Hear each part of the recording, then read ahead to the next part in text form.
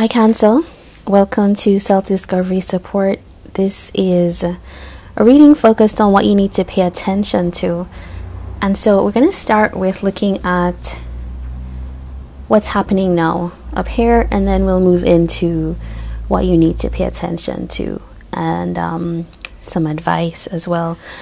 All right, so we've got the Hangman, Knight of Cups, Two of Cups, and Seven of Pentacles in what's happening and I'm drawn immediately to this card at the end which is talking about this period of waiting this period of like gestation. Let's see if we can get the, the um, focus on this a bit more. Okay I think we're gonna have to work with that. All right but yeah it's um feel like there's something that you've been waiting on, um, like patiently waiting, biding your time. You know, you have been um, very, it's like a committed energy to whatever this is, but I say whatever. But there's strong indication here that with this Two of Cups, Knight of Cups, that this is definitely some kind of um, connection energy. This is someone that we are thinking about, um, someone that we do see ourselves partnered with, or we had hopes of being partnered with this person. There's just like an energy of something coming together. So this could even be this for some of you. It's somebody that's left. For some of you, it's somebody new.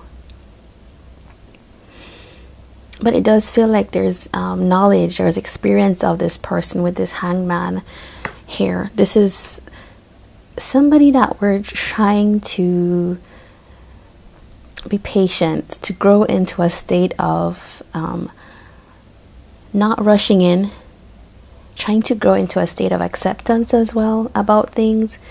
This is how things are. Um, this is who this person is. This is the situation that you find yourself in. Um, I don't know if it feels like a disagreement that's happened here. It does feel like you are you could be interested in um, talking to this person you know even um, tarot is really great at picking up like what's inside. So sometimes we don't actually acknowledge that to ourselves like i i don't mind having a conversation or you probably may be open to somebody coming in.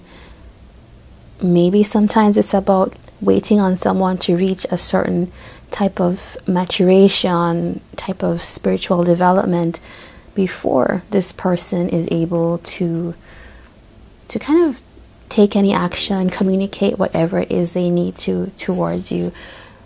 But it does feel like you are it feels like you're the oh, with the seven here, it feels like you're the wise one in a way. It's like you're waiting for this and there's an understanding that you have that this is actually the the, the best thing to do at this moment. Um, we also if if we think about the other person in what we're seeing here we're also seeing that there is potentially someone who has also been kind of holding back. So you're waiting they're holding back but there is an energy of definitely um, either both of you or even if you think it's not both of you just thinking of like, okay, what if I did this? I've held back. Maybe I've I've there's some transformation that's happened here for someone, either or either you or this person, and it just feels like this thing has matured. This situation has definitely matured and grown. All right, so let's look at this situation. What you need to pay attention to here is we have Page of Wands, Ace of Swords, and Eight of Swords. So a lot of um, thought energy where we had a lot of cups emotions here. We now have a lot of a kind of excitement. This is like a new excitement. So okay, I, I feel like there there could potentially be someone that is is reaching out to you, communicating, and also we might be getting very um, kind of excited about the possibilities here. Um, there's some kind of clarity that you're being asked to pay attention to.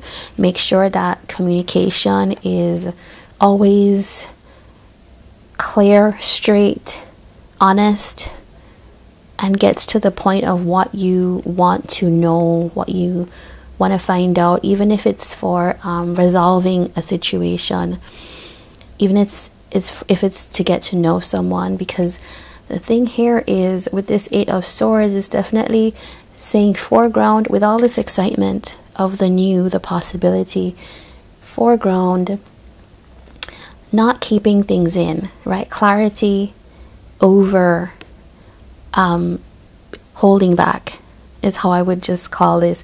This is someone who is maybe afraid to express everything, um, puts themselves in a kind of role for how they feel they could or they should function. But I think with this fool energy here, the fool is not necessarily a fool, but it's like bringing in a new beginning, right? It's bringing in a kind of exciting new adventure for yourself and just being able to just wholeheartedly embrace that. But all right, we'll we'll look at this communication. Do do be playful though, you know? Like um this is not about being defensive. This is about enjoying the opportunity feeling into the energy and the playfulness and even the fun of it if this is someone new returning in a new energy but also keeping an eye on like being discerning as well right in that process you're trying to suss out what's right for you where you can step a little bit out of that boundary if you've been hurt before in a situation or even with this person what where are the places I can plant my feet to move forward all right, and we're gonna draw a chakra card for you for Cancer. What do they last need to know here? Okay, and this is the third eye chakra with the trust. Trust your intuition. It is in contact with a higher source of knowledge. Okay, and I think this is this Ace of Swords here. Keep attuned to that Cancerian intuition that is so strong and enjoy yourself. I hope things work out for you, Cancer. Uh, this is the reading. Please do like, comment, and subscribe if you enjoyed this, and I hope to have you here again. Take care.